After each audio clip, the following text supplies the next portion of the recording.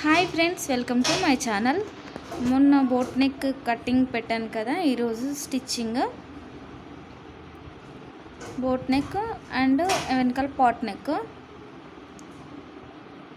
మొన్న కట్ చేసుకున్నాను కదా ఇది ఇలా మెయిన్ ఫ్యాబ్రిక్కి ఇలా సెట్ చేసుకొని ఇలా కుట్టుకోవాలి.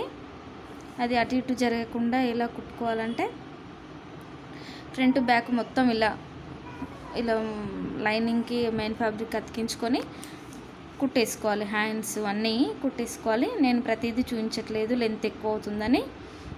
తర్వాత నేను ఆ క్లాత్ అటు ఇటు జరగకుండా నేను ఇట్లా పిన్స్ పెట్టాను. ఒక ఫైవ్ పిన్స్.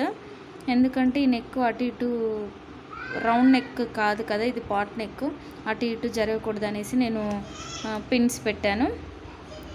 దాని తర్వాత అది అలా కుట్టేసిన తర్వాత పిన్స్ తీసేయాలి. ఇప్పుడు కుట్టేసాను కదా. తర్వాత ఈ పిన్స్ అన్నీ తీసేయాలి. తర్వాత ఈ బ్యాక్ సైడ్ నేను ఉక్స్కి బ్యాక్ సైడ్ ఓపెన్ పెట్టుకున్నాను. అది కూడా పైన ఉక్స్ వస్తుంది కింద ఉక్సులు వస్తాయి. అది కట్ చేసేసుకున్నాను. తర్వాత ఫ్రంట్ కూడా ఇలా పిన్స్ పెట్టేసుకొని కుట్టేసుకోవాలి.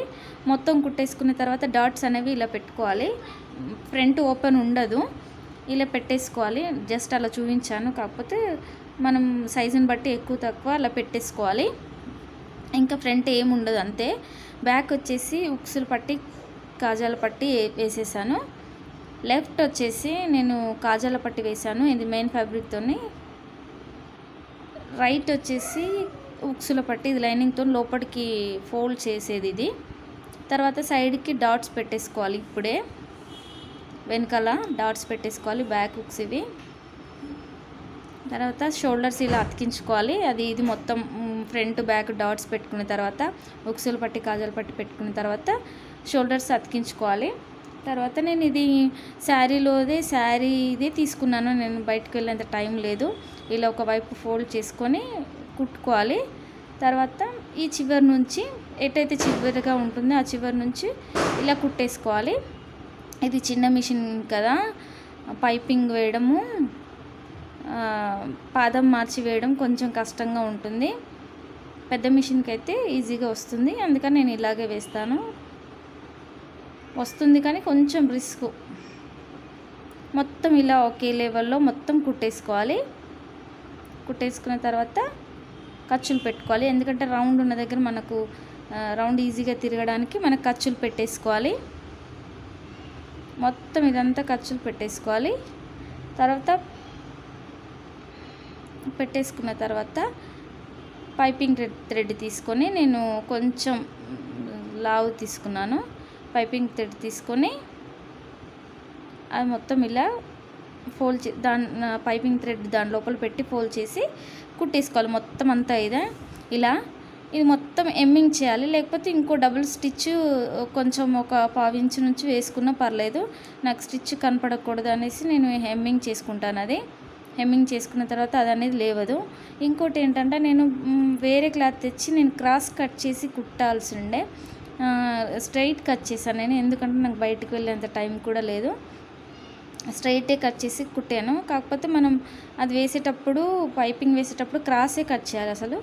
తర్వాత ఇది ఫ్రంట్ ఫ్రంట్కి బ్యాక్కి వేసేసాను. హ్యాండ్స్కి మాత్రం వేయలేదు. ఇది ఫ్రంట్. ఫ్రంట్ ఏం లేదు డాట్స్ పెట్టేసుకున్నాను అంతే. తర్వాత పైపింగ్ వేసాను ఈజీగా అయిపోయింది నాకు. చాలా తక్కువ టైంలో ఈజీగా అయిపోయింది ఇది. ఇంకా డాట్స్ పెట్టి మన షేప్ అటీలు వేసి అదంతా ఏం లేదు. నేను పైపింగ్ జస్ట్ పైపింగ్ వేసేసాను. బ్యాక్ బ్యాక్ కూడా నడుము పట్టి ఏం వేయలేదు. బ్యాక్ కూడా నేను పైపింగే వేసేసాను. సేమ్. పైపింగ్ వేసేసి హ్యాండ్స్ వేసేసుకొని మొత్తం స్టిచ్ చేసేసుకున్న సైడ్ కుట్లు వేసేసుకోవడం అంతే ఇంకేది లేదు. పైపింగే వేసేసాను. తర్వాత టోటల్గా మొత్తం ఇలా బ్లౌజ్ రెడీ అయిపోయింది. వెనకాల ఉక్సులు. నేను ఉక్సులు అన్నీ పెట్టేసుకున్నాను. ఇలా పైన ఒక ఉక్స్ వస్తుంది. ఇది ఏంటంటే కొంచెం నేను వేరే క్లాత్ తీసుకొని క్రాస్ కట్ చేసి ఉంటే ఇంకా బాగుండేదేమో కానీ నేను నాకు టైం లేదు అంత టైము. ఇది బ్యాక్. ఫ్రంట్ వచ్చేసి ఇలా. చూడండి నేను ఒక డ్రా డాట్స్ డాట్స్ పెట్టేసి నేను పైపింగ్ నెక్కి కింద షేపటిల దగ్గర బ్యాక్ మొత్తం పైపింగ్ వేసేసాను. అంతే జస్ట్. సో నా ఛానల్ కనుక మీకు నచ్చినట్లయితే ప్లీజ్ సబ్స్క్రైబ్ చేయండి సపోర్ట్ చేయండి. కామెంట్ చేయడం మాత్రం అస్సలు మర్చిపోద్దు. ఇంకా ఏమైనా డౌట్స్ ఉంటే నాకు కామెంట్లో చెప్పండి ఫ్రెండ్స్. Bye friends.